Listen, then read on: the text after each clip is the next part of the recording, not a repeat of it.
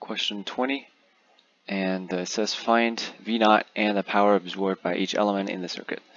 Okay, so this is testing our knowledge and whether we know that some of the power within a circuit will always be zero. Uh, and because the amount of power emitted should be equal to the amount of power that's absorbed. So with that knowledge in mind, um, we'll just have to uh, find out all the powers and add them together, and then we find out V naught. Right, so this is pretty straightforward times 6a. Now, the system that the book developed, positive and negative, and if it would say this is the current, if the current flows through like from the negative uh, side to the positive side, that means it's emitting power, right? That means it's emitting power. What actually happens is electrons flows from the negative to the positive, and that's usually like battery does that, and that's like emitting power. But we're gonna follow what the textbook says, and it, it makes has its own sense. So we say, okay, so 6a goes goes into the negative to the positive, and this is emitting power, right? It's a power source. It's giving out power, and we have to say, okay, so in this case, we're going to say it's a negative 30V um, because it hits the negative first. And then so the next one, as you can tell from here, uh, this is plus minus 12V, and there's a 6 uh, ampere voltage going through from here. I mean, sorry, uh, 6 amperes of uh, current. So now it's hitting the positive side first, and from the positive to the negative, which means this resistor is taking, absorbing power, which is like a light bulb or something, or just a simple resistor, right? So in this case, we'll just say, okay, it's 12V uh, times 6A, and now we just have to do for the rest. So let's keep going to the right, and then it would just say, okay, 28V uh, times 1A uh, plus the V naught, I naught, which is 2A. So 28V times 2A, and then plus the uh, 5 I naught 3A. Now, this is another little trick, like another little question within the question that's like testing your knowledge on the voltage supported power, uh, the voltage supported current source or current supported current source and whatnot. So this is a, so every time you see this, this is the voltage source, okay? This is a voltage source. And, and if we see like, like a plus and negative, and that's like always voltage as well. And if you see a, this, then we say, okay, now it's calculating current.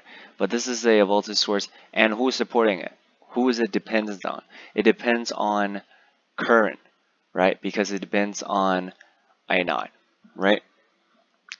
So it's we say um, current dependent uh, voltage source. Okay, so in this case would be 5 times I naught, which is 2A, uh, but it's this whole thing, the units is voltage times the 3A, and we plus um, V, uh, 3 times V naught.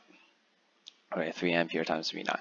Okay, and each individual uh, bracket within the bracket, that's like one element's power.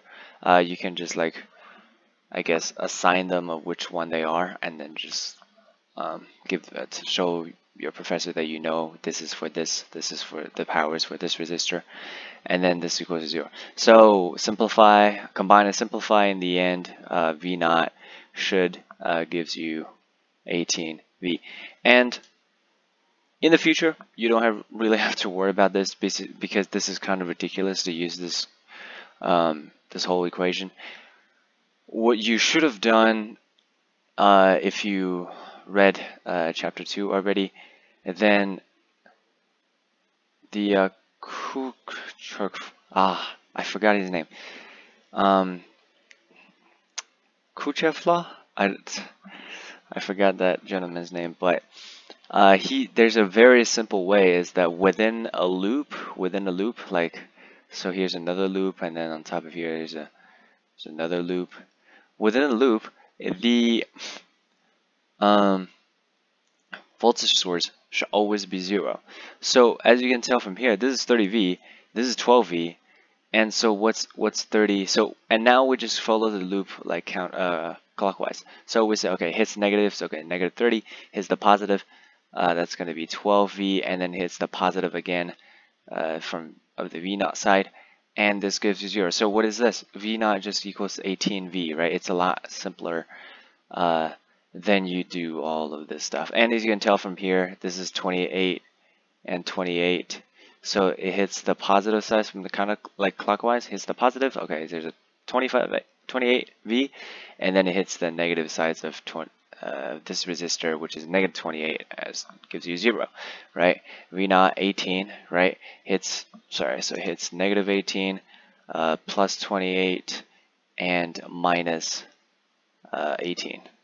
Wait, uh, 8, 15, right? 3 times 30, sorry.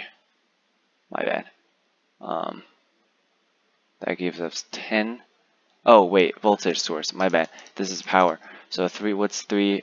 Uh, 3 times, I mean, sorry, 5 times 2. Uh, 5 times I naught, I naught is 2, so that's 10. And again, this gives, still gives you 0. Okay, so here's an, another alternative method to solve this problem, but uh, right now, since this is chapter one, if you know it, then you can use it, but still, you know, it will only figure out the V naught, but not the rest of the resistors, right? So if your professor assigned you this homework, still use this, and then you can uh, write this down just to show off and just say, hey man, I already started ahead, and you know your TA might give you a little smile in the end. But um, so hopefully this was helpful and uh, good luck on your studies and I'll see you in my future videos. Bye.